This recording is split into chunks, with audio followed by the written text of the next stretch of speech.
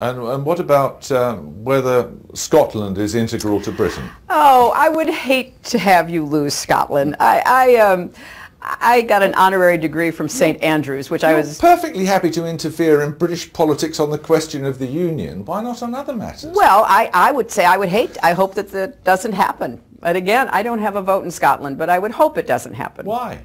Well, because it just seems like it They're was... entitled to their freedom as much as Ukraine, aren't they? Uh, But I think they, well, if there had been a real referendum as opposed to a rump, uh, intimidatory uh, event. Will there be a proper referendum? Uh, there will be because there have been legal process associated with it, uh, and we'll see what the people of Scotland decide. But uh, you know, I, I I would think it would be a loss for both sides. But again, I don't have a vote.